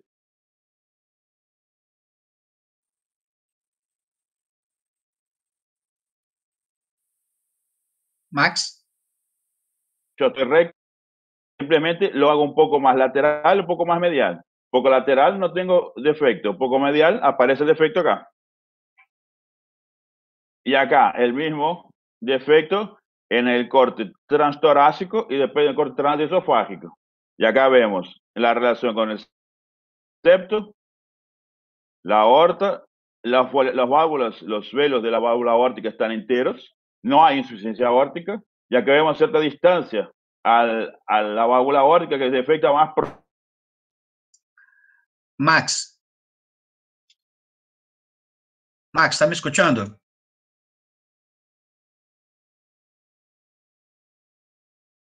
Caiu, parece. É, Max. É, é, na verdade, é, é, é na verdade, está, é, com reloj, não, está é, freezing na, apresentação.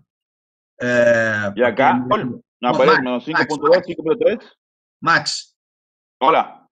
É, su transmissão não está buena, no, no, no, no, é, está, está, está congelando, el, não, não, está congelando o tempo e, e você Provavelmente tiene que desligar su teléfono porque está competindo con su, con su computador. ¿Cómo es que Su, su transmisión está, está parando el todo tiempo, no, no, no estamos consiguiendo acompañarte. ¿Está ouvindo? Ahora sí, ahora sí. Vamos a intentar una vez más. Oi? Dale, dale, dale, vamos, vamos a intentar una vez más. ¿Está ouvindo, Márcio? Sí, sí, sí. Vamos. Ahora sí. Entonces, esto acá acá ves que esto no es factible. Esta era una chica que no, no podemos hacer con Raúl, este examen fue hecho con Raúl, como dijo Alejandro,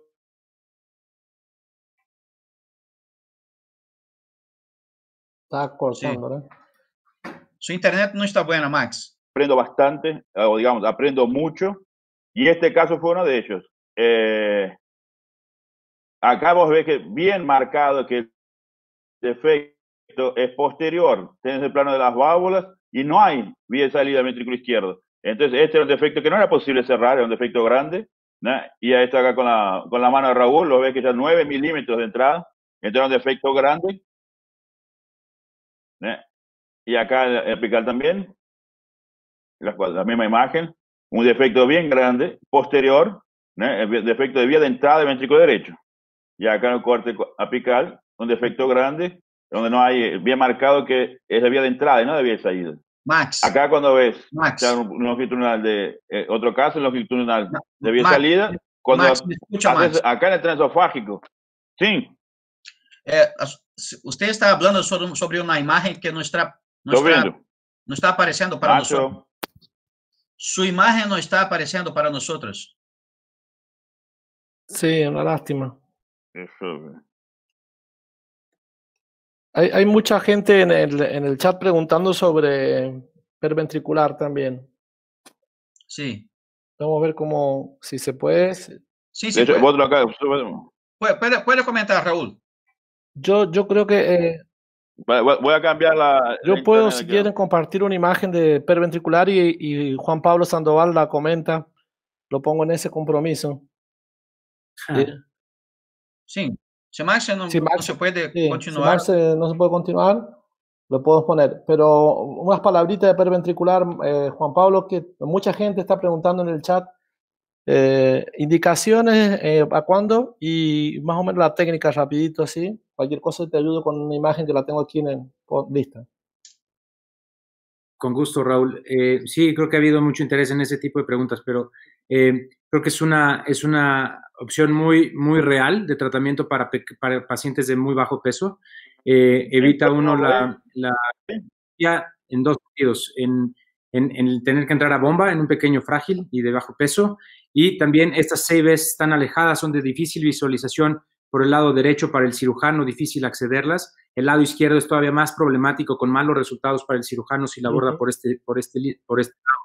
Y eh, son pacientes demasiado pequeños para utilizar vainas o, perfiles grandes, eh, como ya hemos comentado, y además de la inestabilidad hemodinámica que sí pueden llegar a, a tener durante un cateterismo si es que fueran llevados a este método. Entonces, el método perventricular rápidamente es junto con el cirujano, un equipo en quirófano que el cirujano eh, realiza una jareta eh, en la pared libre del ventrículo derecho, donde se funciona directamente con una aguja, se avanza la guía a través del defecto muscular, se avanza un introductor corto, eh, con mucho cuidado, eso sí, para no lastimar la pared libre del ventrículo izquierdo o el aparato subvalvular mitral, y eh, se avanza un dispositivo de, un oclusor muscular, en términos generales, uno o dos milímetros arriba de- del defecto medido por eco. Como pregunta Carlos Guerrero si, si la utilidad del eco epicárdico aquí funciona, sí, en definitiva. También el eco transesofágico con sonda pediátrica pequeña para quienes lo tienen de- disponible y también, si no, directamente con un transtorácico ahí con una sonda, este- con una sonda que tenga una cobertura estéril eh, Pues para, sí. para poder hacer. Y, y en definitiva es, es un método que, que es Marco. bastante y mucha experiencia en Asia respecto a miles y miles de casos reportados con esta técnica con buenos resultados e incluso extendido a ciertos efectos perimembranosos también, de acuerdo a lo que han publicado. Sí, sí, perfecto. Y resaltar que es para chicos chicos, ¿no? Abajo de cuántos kilos le harías vos. Pues creo que, bueno, el que te comentaba ayer, hicimos un caso en, en- en la ciudad de Mérida, un, un caso muy lindo, un paciente de 2 kilos, Mas o que mais não está aparecendo. ofrecerlo a pacientes de peso bajos en, en definitiva. Y te diría que creo que, como tú mencionas, Eu, eu, eu acho que não tem mais tempo, já são meio-dia e dez. que no logran tener un crecimiento adecuado por, por la repercusión que les genera. Enfim, você vê mais um tinha, a gente tinha que interromper, não dá mais pula. Perfecto. Pero buenísimo. Eh, buenísimo, buenísimo. Max, Nosotros, Raúl, Max, Dale, dale, dale, vamos, dale. vamos, vamos tentar uma vez mais para Max finalizar sua, sua charla e encerrarmos a sessão, bueno. Ya, pasamos en mucho, en mucho el, tiempo. Eh. Pero lo bueno es que mucha gente sigue conectada. ¿eh? Sí, sí, sí. Vamos, Max. Dale, Max. Que ponga el micrófono. Max tiene ah, el micrófono. Max.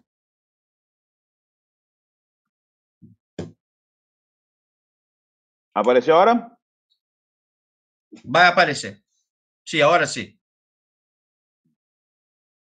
Corriendo. Entonces, la relación de la aorta con el defecto, normalmente la vía de salida, que está el septo, y entonces, si tiene o no tiene aneurisma de, de, tejido tricúspide y el, el, calibre. Como dijo Raúl, siempre la, la, mayor parte de las veces medimos el color optimizado y mide el calibre de la parte más estrecha del color, ¿eh? la parte colorida, del diámetro colorido, que iba a ser más la referencia, a diferencia de CIA y otros defectos. El, el tamaño de, este, de esta salida es que va a, ser, va a determinar el tamaño de la prótesis, usar como referencia el color. ¿eh? Acá en los dos ángulos ortogonales se aparece el defecto. ¿eh? Y el uso del 3D es un uso más estético que funcional, porque normalmente las, los chicos son chicos, eh, bajo peso, las prótesis son grandes, entonces no es siempre que se puede usar. Cuando aparece, aparece un, una, una relación anatómica interesante. Acá estoy cortando la aorta, aparece la mitad de acá, el septo y aquí la aorta. Entonces, lo que va a hacer es cortar en esta posición, lo voy a doblar, a doblar y aquí aparece, dentro de la vía de salida, aparece la relación con la válvula, la aórtica acá abajo, el seno balsaba, y acá está el defecto en la porción perimembranosa. Aparece aquí, esta es la cúspide, con la que aparece el septo. Entonces, ¿cuál es la técnica, la, la, la, orientación? Cuando tienen que hacer con un catéter con la derecha, un, J, un JR, como si fuera a entrar una con la derecha, pero pasa la válvula y abajo está el defecto. Entonces, ¿cuándo podemos hacer? Ayuda bastante. Y acá las medidas en el 3D. ¿eh? Y acá en la otra puerta, acá el, el seno valsalvo, ¿eh? la, la aorta, y acá abajo la posición membranosa del septo, aparece el defecto. ¿eh? Aquí el guía pasando, el guía pasando de la derecha para la izquierda o de la izquierda para la derecha, como dijo, como estaba diciendo, se puede bajar tanto de la aorta para el ventrículo pasando para el ventrículo derecho o el ventrículo derecho subiendo para la aorta. ¿No? Lo que Raúl dijo, cuando está trabajando, ver en qué posición de guía pasa cuando va a buscar la pulmonar. Entonces, que no, esté, que no, esté, comprometiendo el funcionamiento de la válvula tricúspide, que, no, que no esté cargando, pasando o por dentro de las estructuras y precisamente que no esté eh, traccionando los, los vellos de la válvula tricúspide. Y acá guiando eh, en una posición invertida, vino de la aorta, el disco distal, y la posición del disco, y acá el disco izquierdo y el disco derecho, y acá que estaba hecha la, la, el dispositivo posicionado que no tiene relación con la pulmonar, ni con la, con la tricúspide, ni con los, las, cúspides, las de la aorta. Aquí está la vía salida, porque no está rodando ya que la, la, válvula con los dos discos, el disco derecho, el disco izquierdo, el disco derecho, ¿no? Aquí la tricúspide, en el corte transverso y en el corte longitudinal, que no está afectando la vía de salida, está el, el, disco del lado izquierdo y el disco del lado derecho. Ya que en 3D, donde se ve la válvula cerrada, la válvula cerrada, no como el disco de la aorta o de, la vía del disco izquierdo, no está comprometiendo la, la válvula, y aquí el disco del lado derecho como dije, es una, una, una cosa más estética que funcional. Y acá ves con la válvula cerrada, no está interfiriendo en su mecanismo. Acá con la válvula abierta, ves, ves el trígono entre la cúspide la derecha y el no coronariana. Y acá está la, el disco izquierdo. Acá, durante el procedimiento, como dijo Raúl había dicho, el control, esta regustación es por corto del, del catéter que está pasando por dentro de la válvula. Entonces hay una regustación el, momentánea por el mal funcionamiento. ¿Por qué? Porque tiene un catéter que está traccionando dentro de la válvula. Cuando termina, en este caso fue una LEPU 10, tipo 2, ¿qué pasa? Depende del como había dicho, depende del movimiento de la mano. Acá el movimiento más lateral, no veo, no veo la prótesis. ¿Está viendo? Acá está completamente libre la vía de salida y no tiene ninguna regustación, la válvula está absolutamente competente. El disco izquierdo, el disco derecho, y cuando hago un movimiento medial, o sea, una, una rotación horaria con mis, con mi sonda, eh, veo la prótesis. Cuando hago un movimiento antihorario, para ir para lateral, no veo la prótesis. Entonces está bien posicionada, la vía está libre, y acá es la vía de entrada del ventrículo derecho. Entonces, lo que parece esto no es un shunt a través de la prótesis, es el flujo de la tricúspide. Entonces, la tricúspide que está con buen funcionamiento, libre, sin, ni, ni ni estenosis. Y acá el mensaje, lo más importante es no salir haciendo, pero ¿cuál es lo que puedo hacer? ¿Cuál la zona 2 es factible de cierre? Esta zona. Las estructuras que están, los defectos que son de esta región, es lo que lo puedo cerrar. Distancia de defecto al plano de la válvula aórtica. Tiene, si tiene más de 5 milímetros, menos, menos de 5 milímetros. Entonces, eso va a determinar qué tipo de prótesis voy a usar. Eso con la integridad de la válvula aórtica. Comprometimiento, comprometimiento de la válvula tricúspide durante el procedimiento. Si la, mis guías están traccionando, está pasando entre las cuerdas o pasando por los músculos pectíneos que tienen el, lado derecho. Y el tiempo de comprometimiento de la válvula aórtica y tricúspide con la colocación del dispositivo antes de la liberación. Entonces tengo que verificar que tanto la válvula aórtica cuanto la tricúspide estén con buen funcionamiento. Ya nos pasó con Raúl que la prótesis agarró parte del folleto septal, septal y cuerdas de folleto septal. ¿Y qué pasó? Traccionó y es una estenosis tricúspide. La válvula no, no, no abría. Entonces tuvo que sacar todo y empezar todo de nuevo. ¿Por qué? Porque la, la, la válvula, la prótesis estaba entre las cuerdas. Y tuvo que reposicionar, hacer todo de nuevo el proceso y ahí quedó bien. Entonces, eso es importante, la, el mensaje, ¿qué es lo que se puede hacer? Nada más que los, este defecto, lo muscular y relacionado a vía del ventrículo izquierdo, ¿no? La porción no el septo. Gracias. Belíssimo, Max. Muchas gracias por su charla. Alejandro, ¿ya tienen un comentario para sí? Sí. Eh, eh, hermosa la charla. Yo, yo quiero hacer hincapié en el tercer punto que presentó Max y me gustaría que Juan Pablo, pero específicamente Mauricio, pero especialmente Raúl, comenten. Nos ha pasado cuando uno va haciendo más casos y va, va teniendo mayor experiencia, sobre todo las comunicaciones interventriculares perimembranosas que tienen múltiples salidas o exit, cuando, uno entra puede comprometer tanto, eh, tanto las cuerdas de la válvula tricúspide atraparla y ahí se produce uno de los momentos para mí más desafiantes y desagradables durante, durante este procedimiento, que es cuando queda una estenosis tricuspidia, se, se, el ventrículo derecho queda sin, sin gasto y eh, hay una dilatación súbita de la aurícula derecha, bradicardia, y ahí empieza el pánico en, en la sala. Esto nos ocurre, no, nos, nos ha ocurrido con frecuencia en las comunicaciones interventriculares permembranosas con múltiples éxitos cuando uno trata de, de, entrar. Y es una situación que la tenemos que prevenir, creo que te, tenemos que hablar con anterioridad con la gente de la sala, sobre todo con el ecocardiografista, y qué, qué, qué pasos dar cuando esto ocurre. Y yo creo que Raúl sería, sería el, el ideal para comentar sobre qué, cómo se maneja cuando ocurren esos casos. Rápido también, eh, sí, es, es, un problema. Eh, lo primero siempre mantener la calma y cuando uno ya la, ve que la, cuando uno hace la angiografía y ve que no está bien hecho el loop arteriovenoso, no es una línea casi recta, lo primero que hace es mirar el eco y ahí ve, como dice Alejandro, empieza a veces hasta formarse un autocontraste en la aurícula derecha y, y la situación se pone tensa. Primera cosa es sacar la guía, ¿no? Sacar la guía, sacar la tensión del loop y después yo no, yo no intento liberar nada más que la cuerda dejando el catéter en el ventrículo derecho y después ahí paso nuevamente para la aurícula derecha, no subo a la pulmonar. Pero sí, es, es, es un momento tenso, pero no hay, que, no hay que ponerse loco como decimos nosotros. Y, y, se puede hacer dos, tres, cuatro veces. Nos pasó con vos, Alejandro, creo que tuvimos en tres casos, en tres veces seguidas, las tres veces en el mismo, hasta que recruzamos de nuevo todo y se pudo hacer. A pesar de esto, no, no duró, no, no, fue muy largo el procedimiento. Pero es una complicación que hay que tener mucho cuidado, como Maxi dice. Y el eco transofágico, como Maxi colocó, y mucha gente preguntó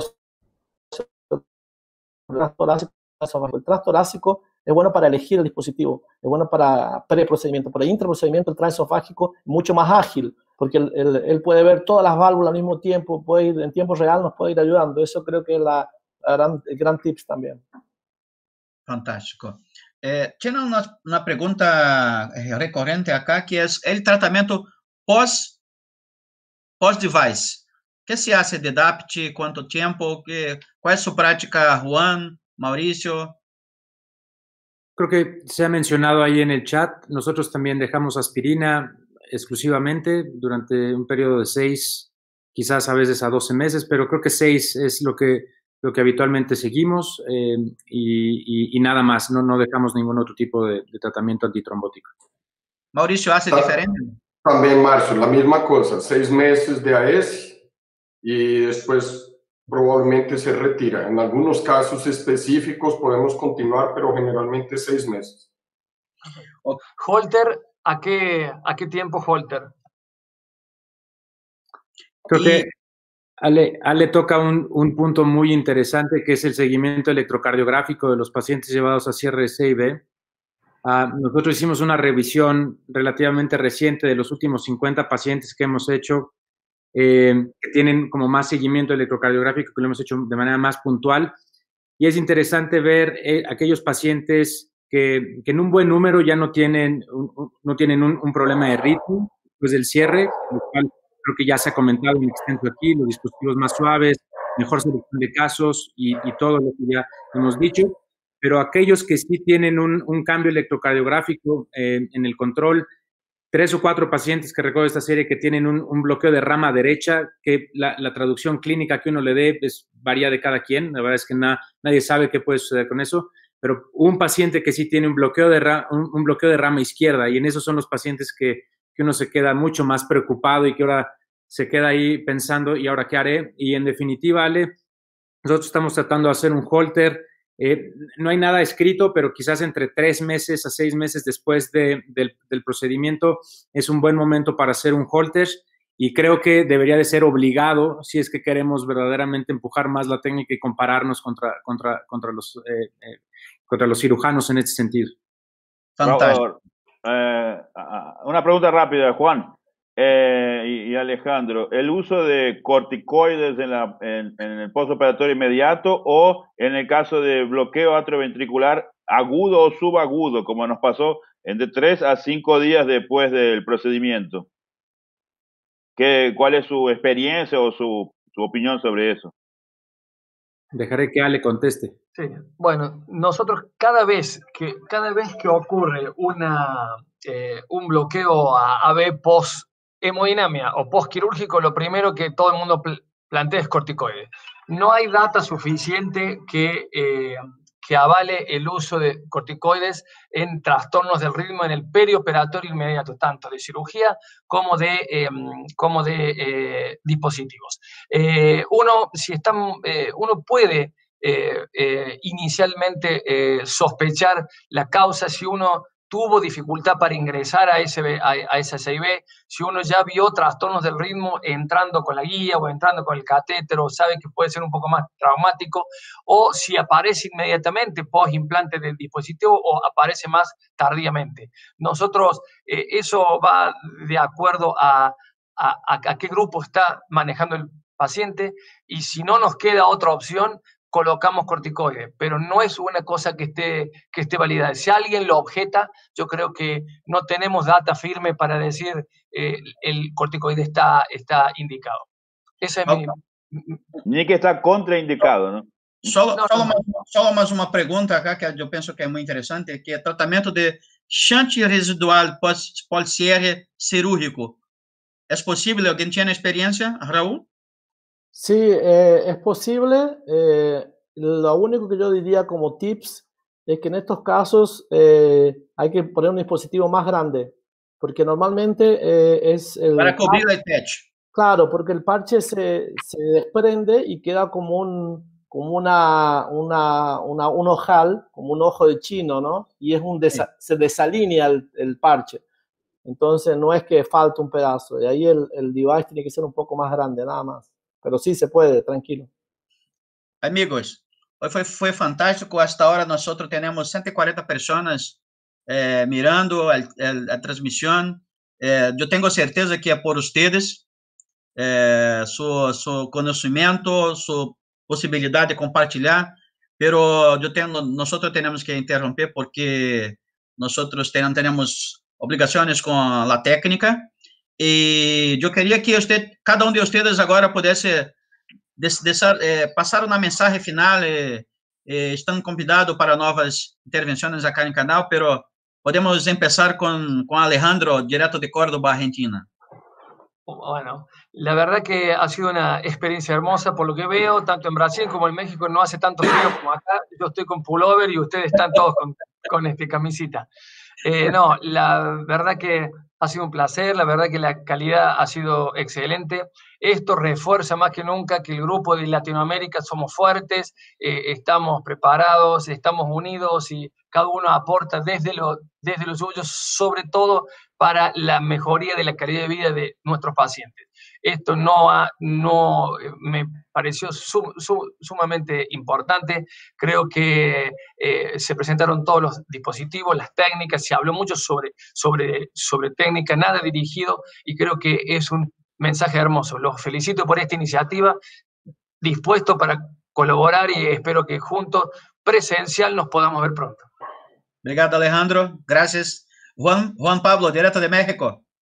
Gracias, Marcio. Gracias a todos, a todos los eh, que se conectaron a este webinar. Yo lo mismo, eh, soy el que, el que más agradecido se va porque aprendo siempre de, mis, de, mis amigos y de mis, eh, muy, saben que los admiro a todos, a Ale, a, Raúl, a Mauricio, a Max, a ti. Muchísimo gusto por conocerte, Marcio, y estaremos buscando nuevas, nuevas oportunidades futuras.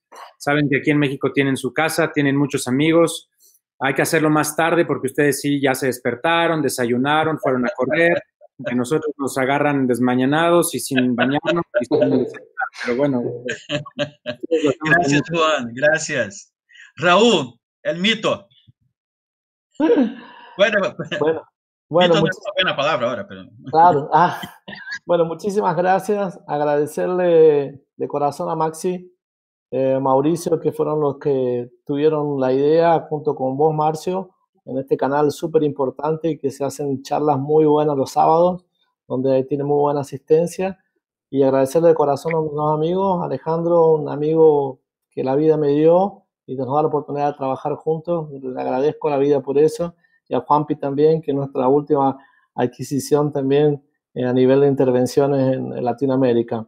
Quería invitarlos a todos a que hagamos más caso de CID, a que pasemos un poco los límites, a que sepamos que es una técnica que ya está establecida, no hay nada nuevo en esto, ya tenemos más de, 15 años trabajando en esto, así que hay que seguir para adelante. Un abrazo gigante a todos los que están en el chat y a toda la gente que, que nos vio. Gran abrazo, Raúl. Mauricio, en Brasilia.